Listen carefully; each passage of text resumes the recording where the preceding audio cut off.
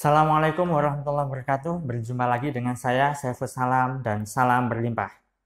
Sahabat, kali ini saya akan bahas tiga rahasia dikejar uang. Simak terus video ini.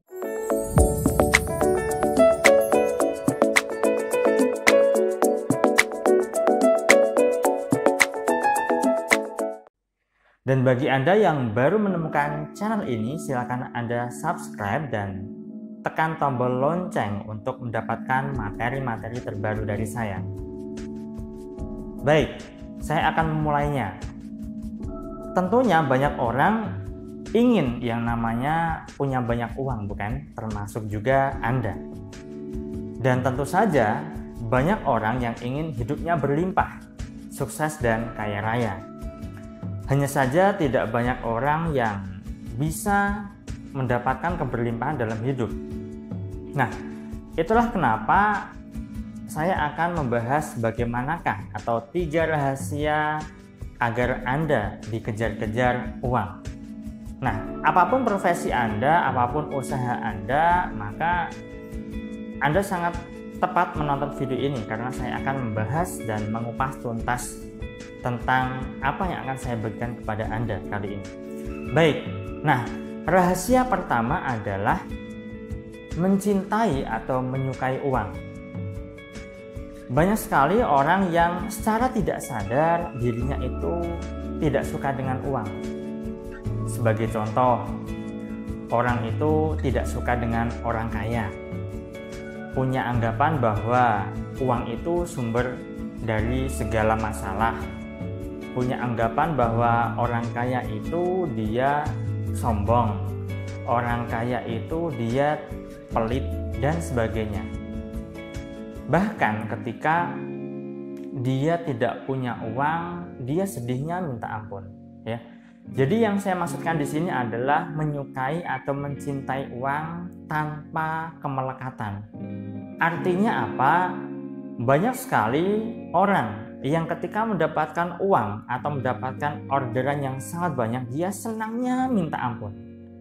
Tetapi ketika dia giliran mengeluarkan uang, dia agak pikir-pikir, sedih, takut, khawatir kalau-kalau uangnya berkurang atau habis. Nah, kalau ada statement atau kondisi seperti ini berarti dia itu masih melekat dengan uang. Ya, karena ketika mendapatkan uang itu senangnya minta ampun giliran uangnya dikeluarkan atau mengeluarkan uang dia berpikir-pikir ya nah yang dimaksud mencintai atau menyukai uang di sini adalah tanpa ada rasa kemelekatan. Cintai saja uang itu tanpa syarat. Ada uang alhamdulillah tidak ada pun tak masalah. Karena pada dasarnya kondisi saat ini ya itu adalah sementara. Karena tidak ada yang namanya kesulitan terus menerus tidak ada kesenangan yang terus menerus ya jadi semua ini adalah sebenarnya netral ya. Tinggal kita mempersepsikan atau menafsirkan seperti apa. Nah jadi rahasia pertama adalah Anda perlu yang namanya mencintai atau menyukai uang. Cintai saja uang sukai saja uang.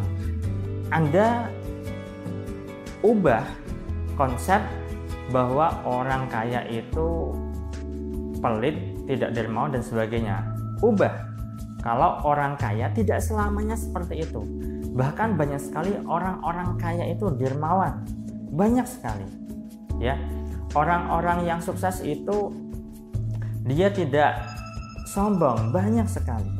Kalau Anda menjumpai orang-orang kaya yang pelit berarti anda baru menemukan orang-orang kaya seperti itu.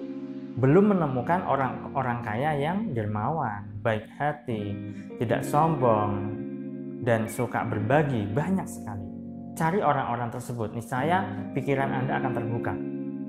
Nah, jadi silakan Anda sukai atau cintai uang tanpa kemelekatan ya.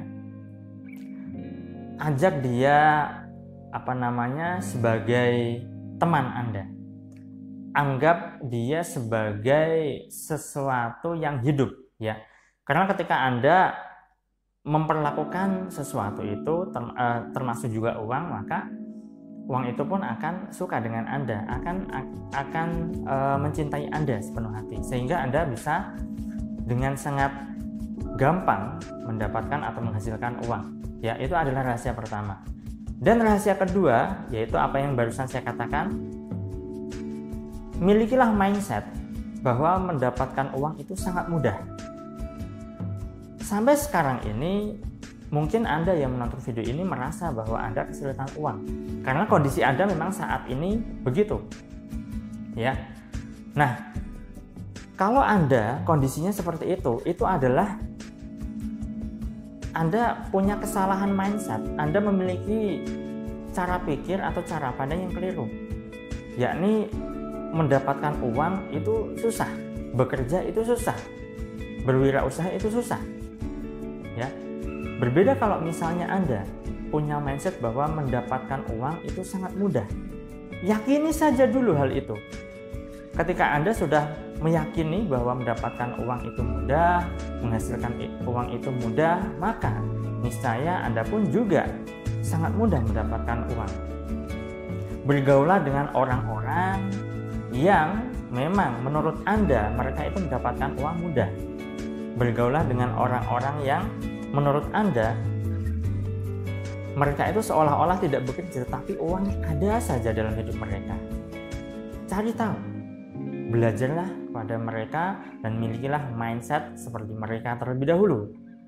Ketika Anda punya mindset yang benar bahwa mendapatkan uang itu mudah, mendapatkan uang itu sangatlah gampang, bahkan setiap hari Anda bisa mendapatkan uang, ya, entah bagaimana caranya, maka alam semesta pun akan mendukung kehidupan Anda untuk mendapatkan uang itu sangat mudah. Nah, itu adalah rahasia kedua.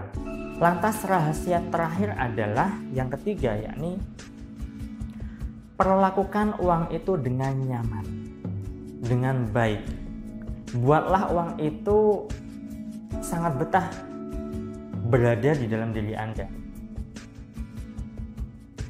Atur uang di dompet Anda dengan rapi, tersusun, tertata rapi, kemudian urutkan uang yang nominalnya paling banyak 100.000 disamakan 100.000, 50.000 disamakan 50.000 dan seterusnya. Jangan Anda lipat-lipat uang Anda. Ketika Anda melipat-lipat uang Anda, otomatis Anda tidak menghargai uang Anda sendiri. Jika demikian, mana mungkin uang bisa datang dalam hidup Anda dengan mudah? Karena perlakuan Anda saja seperti itu, Anda tidak menghargai uang. Sehingga ketika Anda tidak menghargai uang, uang itu ya tidak mau mendekat dalam diri Anda. Buat nyaman terlebih dahulu uang itu, ajak ngobrol kalau perlu ya. Karena pada dasarnya saya meyakini bahwa segala sesuatu itu hidup ya termasuk juga uang. Ketika kita memperlakukan uang itu dengan baik, ketika kita membuat uang kita nyaman, maka uang itu akan sangat mudah menarik teman-temannya, memanggil teman-temannya untuk datang dalam hidup Anda. Sayangnya tidak banyak orang yang menyadari ini. Ketika dia mendapatkan uang dari kembalian saat dia belanja, kemudian dia lipat langsung taruh dompet, tidak diatur, asal-asalan saja meletakkan uang di dompet, bahkan terkadang uang itu dilempar begitu kan? Tidak disusun rapi. E, ketika menerima uang yang lecek tidak dirapikan ya tidak di apa namanya dihaluskan ya tidak diratakan ya. Kondisinya masih saja lecek seperti itu langsung ditaruh di dompet langsung ditaruh di saku dan seterusnya maka yang terjadi adalah uang tidak betah dalam hidup Anda ketika uang tidak betah dalam hidup Anda bagaimana mungkin uang itu bisa mau datang dalam hidup Anda. Baik sahabat, itulah tiga rahasia agar Anda bisa dikejar-kejar uang. Apa pun profesi Anda, apa pun pekerjaan Anda, apa pun usaha Anda, ketika Anda sudah memahami tiga rahasia ini, kemudian Anda praktekkan, Anda ubah mindset Anda, Anda ubah sikap Anda, Anda ubah perlakuan Anda terhadap uang Anda, maka niscaya uang pun akan dengan mudah datang dalam hidup Anda. Bahkan Anda tidak harus mengejar-ngejar uang. justru Anda lah yang akan dikejar-kejar uang.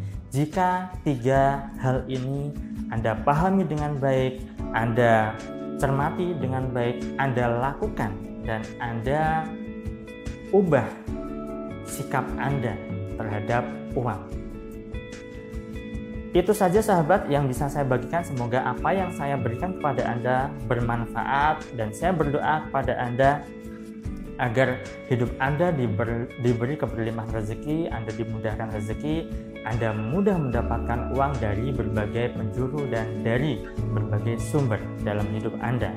Sekian, saya Saiful Salam, terima kasih. Assalamualaikum warahmatullahi wabarakatuh dan salam berlimpah.